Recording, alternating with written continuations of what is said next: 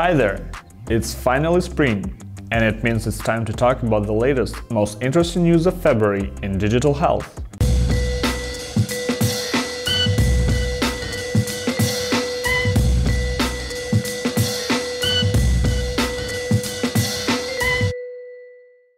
Ginger, an on-demand behavioral health platform, partnered with digital pharmacy Capsule, and now people can get their meds from the Ginger app while staying at home.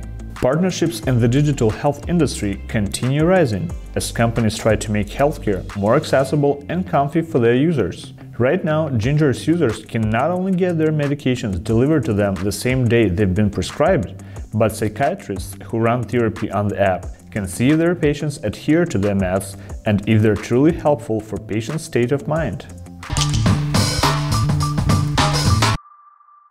Infinitus, a startup that does robotic process automation, got $21.4 million of funding after a public launch from stealth mode they've been in for a couple of years.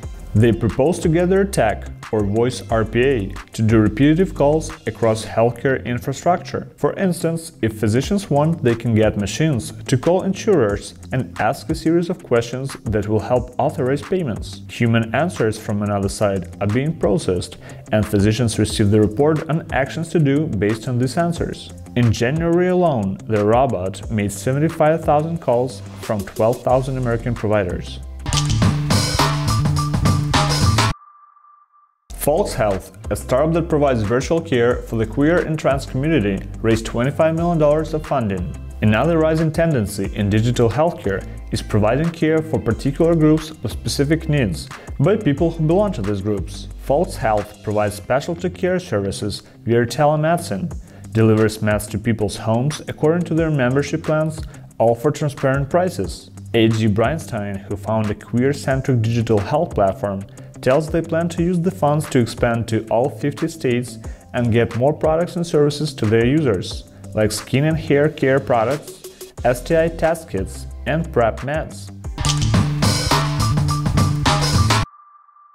That's it for February. If you have any other exciting news from the field, please share in the comments. Take care!